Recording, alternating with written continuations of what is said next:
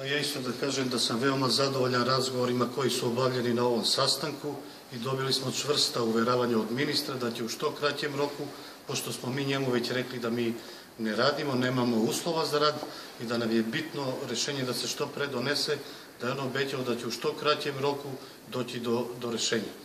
I ovim putem želim da se zahvalim i ministarstvu i njihovim pomoćnicima, želim da se zahvalim lokalnoj samoupravi i načelniku okruga, menadžmentu, svi koji su učestvovali da do ovog sastanka dođe.